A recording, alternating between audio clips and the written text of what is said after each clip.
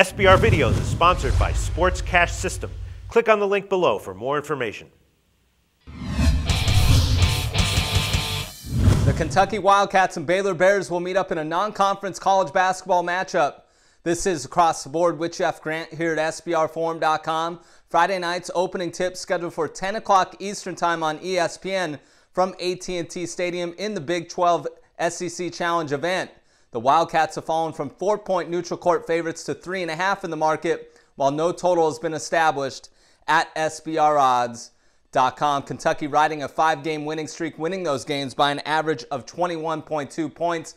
The program will be out to avenge last year's loss to the Bears, which snapped its 54-game home court winning streak and also served as head coach John Calipari's first loss in Lexington. Offensively, the team is led by freshman forward Julius Randle, averaging 18.1 points and 12.6 rebounds, and he should be in line for a huge performance given the fact that he played his high school ball in the Dallas area.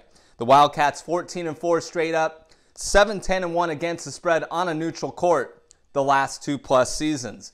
Baylor is off to a 7 1 straight up start through its first eight games of the 2013 14 campaign, with the only loss coming to Syracuse.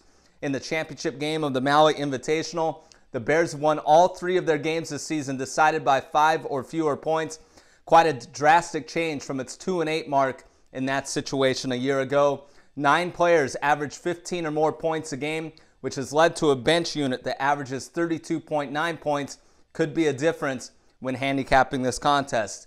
48 and 2 straight up when leading at halftime since 2011 12. So definitely be aware of the second half number with that statistic in mind.